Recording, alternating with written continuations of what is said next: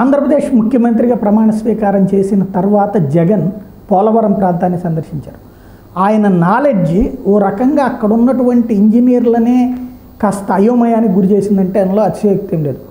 మామూలుగా ఇదివరకు చంద్రబాబు నాయుడు పర్యటన సందర్భంలో అక్కడికి వెళ్ళడం అధికారులు చెప్పిందంతా వినటం ఆ తర్వాత ఉపన్యాసంలో పోలవరం అనేది జీవనాడి ప్రపంచం అద్భుతము మనమే చేస్తున్నాం మోడీ అట్లా మోసం చేస్తున్నాడు ఇట్లా మోసం చేస్తున్నాడు మనమే ప్రాజెక్టు కడుతున్నాం అంటూ రాజకీయపరమైనటువంటి ఉపన్యాసాన్ని పరిమితం అయ్యేవాళ్ళు. మరో పక్కన అక్కడ భోజనాలు ఏర్పాటు చేయడాలు అదో వినోదయాత్ర కిందకు మార్చడాలు విహారయాత్ర కిందకు మార్చడాలు లాంటివి జరిగినాయి.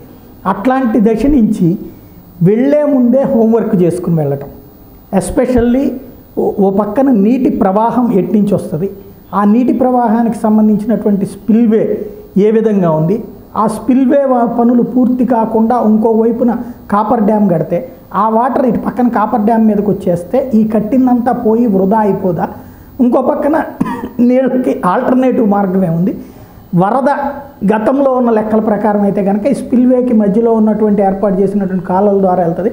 అంతకంటే వరద ప్రవాహం ఎక్కువ వస్తే అప్పుడు ఎవరిది బాధ్యత? అన్నటువంటి అంశాన్ని అధికారులను అడిగితే అధికారులు జవాబు చెప్పలేకపోయినటువంటి పరిస్థితి. ఇంకో పక్కన స్పిల్వే పూర్తి కాకుండా కాపర్ డ్యామ్ కట్టడం ఎట్లా అన్నటువంటి పాయింట్ రైజ్ చేయడంతో షాక్ తిన్నారు. అక్కడ ఇది అది ఒకదానికొకటి కోయిన్సైడ్ అన్నది ఇంజనీరింగ్ నిపుణులందరికీ తెలుసు. తెలిసినా కూడా ఏ వాళ్ళెవరూ ఏనాడు మాట్లాడలేదు. చంద్రబాబు నాయుడు అది చేస్తున్నాం ఇది చేస్తున్నాం అని ప్రజలకు చెప్పారు. అదేదో సపరేట్ ప్రాజెక్ట్ ఇదేదో సపరేట్ ప్రాజెక్ట్ మొత్తం మీద తామే చేస్తున్నట్టు హడావిడైతే చేశారు. ప్రజలకు అర్థం కాదు కాబట్టి ఆ భాష ఆ పదాలను చూసి అబ్బో అద్భుతం అని చెప్పి అనుకున్నారు. కానీ ఇక్కడ దీని వలన వరద ముప్పు వచ్చేస్తే ఆ వాటర్ వల్ల ఈ కాపర్ డ్యామ్ కొట్టుకుపోతుంది. దానికి తోడుగా స్పిల్వేలు కూడా డ్యామేజ్ అవుతాయి. అప్పుడు మళ్ళీ మొదటి నుండి పనులు ప్రారంభించాల్సి వస్తుందన్న విషయం ప్రజలకి అర్థం కాలేదు కానీ ఎక్స్పర్ట్స్తో అదంతా హోంవర్క్ చేసినటువంటి జగన్కి అర్థమైంది.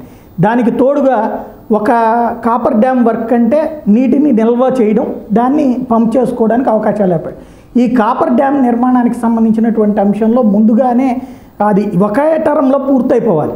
అట్లా ప్లాన్ చేసుకోకుండా అసలు మీరు ఎప్పుడు ప్లాన్ చేశారంటే ఫిబ్రవరిలో ప్రారంభించామంటే అంటే మొన్నటి ఫిబ్రవరి. ఫిబ్రవరి మార్చి ఏప్రిల్ మే జూన్ కల్లా ఎలా పూర్తవుతుంది అనుకున్నారు మీరు? అన్నటువంటి పాయింట్కి రావడం అన్నటువంటిది మరొక కీలకమైనటువంటి అంశం. ఈ పాయింట్లకు కూడా వాళ్ళ దగ్గర జవాబు లేదు. అంటే నాలుగు నెలల్లో ఎలా పూర్తవుతుంది అన్నటువంటి ప్రశ్నకి జవాబు లేనటువంటి పరిస్థితి వచ్చింది. ఇలాంటి హోంవర్క్తో జగన్ రావడం అంటే ప్రతి అంశాన్ని కూలంకుషంగా చర్చిస్తారు. ఇదే కేసీఆర్ దగ్గర కూడా ఉన్నటువంటి మంచి గుణం గతంలో రాజశేఖర రెడ్డి దగ్గర కూడా.